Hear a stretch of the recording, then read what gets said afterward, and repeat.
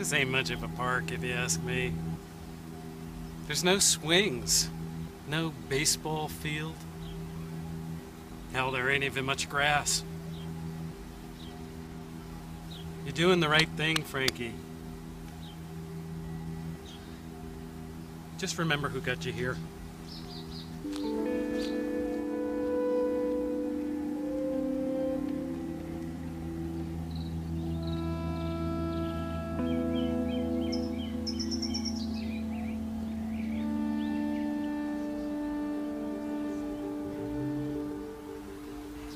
This is a great day for the Garris Development Group and a great day for our city.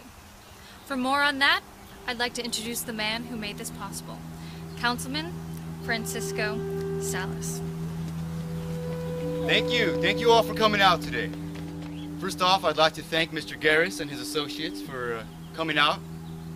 Secondly, I'd like to thank all of you, the people, the residents of our beautiful city, the city that I grew up in.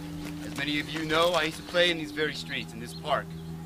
And I'm very proud to announce to all of you that together, we are moving up as a community. And together, we will move forward as a true community together we'll blossom